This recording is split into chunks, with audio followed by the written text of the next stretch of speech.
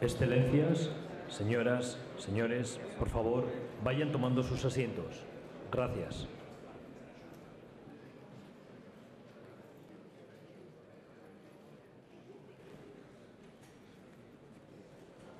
¿Podemos, podemos empezar? Señoras y señores jefes de Estado y de Gobierno,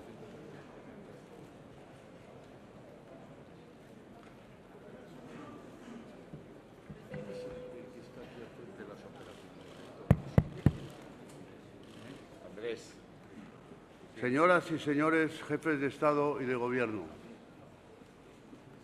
señor secretario general iberoamericano, señores observadores, invitados especiales, señoras y señores. Os quiero agradecer nuevamente vuestra participación en esta vigésimo segunda cumbre iberoamericana que ayer inauguramos.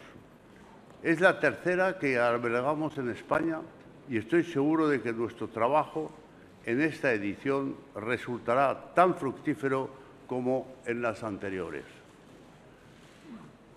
Damos inicio a los trabajos de una cumbre cuyo lema nos encomienda que hablemos sobre una relación que se fortalece desde hace 22 años en el marco de la Conferencia Iberoamericana, pero que hunde sus raíces en la historia. Para comenzar, someto a vuestra consideración la agenda temática de nuestras dos sesiones plenarias. Si no hay objeciones, damos por aprobada la agenda temática. Y tiene la palabra el presidente de Gobierno de España.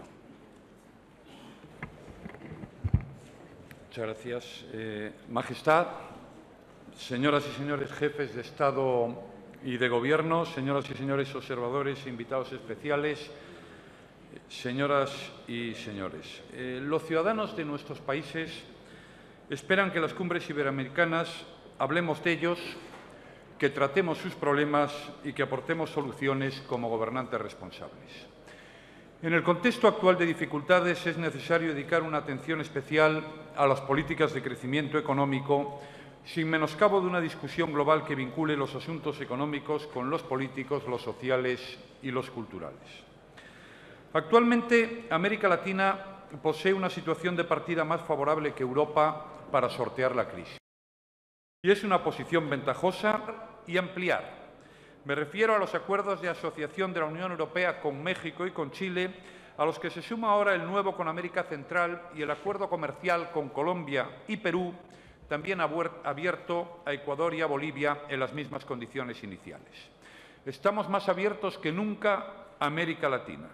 Animo, pues, a sus empresas a aumentar su inversión en España y en Europa, aprovechando el marco de seguridad jurídica existente que todos coincidimos en que ha de ser un valor compartido y respetado en ambas regiones. La inversión es crecimiento y empleo. La seguridad jurídica es su nutriente y el incremento de la renta es su fruto. Como ha ocurrido siempre, esta ecuación es nuevamente la palanca para mejorar el bienestar de los ciudadanos y fortalecer la cohesión social. Quiero destacar que, a pesar de la crisis que sufrimos, no nos hemos cerrado en nosotros mismos y hemos mantenido nuestro compromiso con América Latina. Frente al recurso fácil y tantas veces fracasado del proteccionismo, España y la Unión Europea mantienen su apuesta por la apertura, el libre comercio, la seguridad jurídica y la inversión. Mucho interés en escucharles, en tener con ustedes un debate político y de políticas constructivo, profundo y sincero. Me interesan mucho sus experiencias y sus opiniones.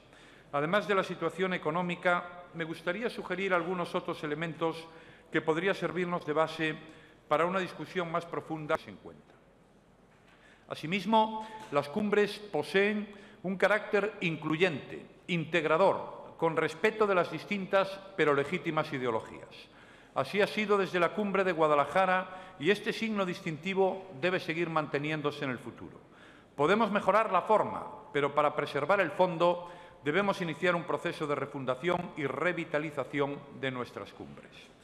La comunidad iberoamericana tiene un peso internacional que debemos potenciar tenemos suficiente fortaleza para proyectarnos, pero debemos hacer mejor uso de ella. La solidaridad entre nosotros es premisa fundamental para alcanzar este objetivo. No hay fuerza sin solidaridad. Los grandes desafíos del planeta en el siglo XXI exigen una voz iberoamericana. No se trata tanto de hablar con una voz única, sino de armonizar todas nuestras voces. En un mundo interdependiente, las respuestas que se fundamentan en un consenso previo forjado entre afines tienen muchas más posibilidades de éxito. Nuestra voluntad común debe encaminarse a un objetivo claro, trabajar con mayor ambición para dar mayor relevancia al peso específico que nuestra comunidad ya tiene en el mundo. En el siglo XXI, nuestros países como bloque son imprescindibles.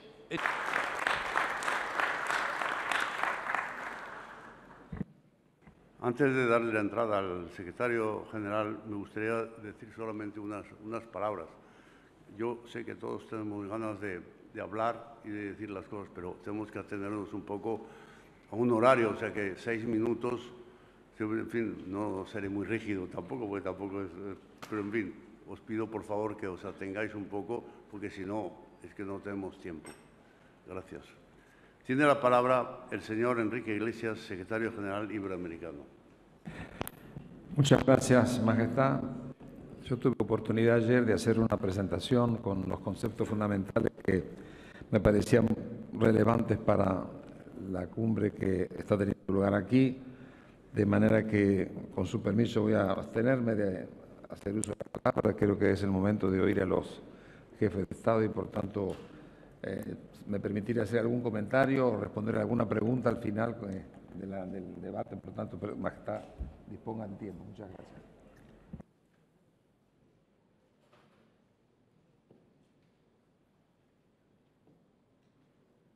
Perdón.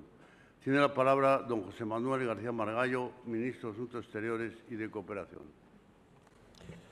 Majestad, eh, señores jefes de Estado y Gobierno, cancilleres, queridos amigos todos. Como acaban de subrayar Su Majestad el Rey y el presidente del Gobierno, nuestro compromiso, el compromiso de España con Iberoamérica, es un compromiso invariable desde 1991. Pero hemos Nuevamente tiene la palabra don Mariano Rajoy, presidente del Gobierno. Eh, Muchas gracias, señor. Eh, bueno, solo era para decir que, visto el informe sobre la reunión de ministros de Asuntos Exteriores que ha presentado el ministro de Asuntos Exteriores y de Cooperación de España, eh, declaro adoptados los documentos de la 22 Cumbre Iberoamericana en Cádiz y declaro asimismo aprobado el mandato al expresidente Ricardo Lagos para que, asistido por el secretario general iberoamericano y... Gran deseo. Saludo el informe que envió mi canciller estos días estaban reunidos en la, Unión Europea, esa eh, cooperación quisiéramos. Solos no hubieran podido. Es imposible solos avanzar como avanzamos hasta ahora, quisiéramos.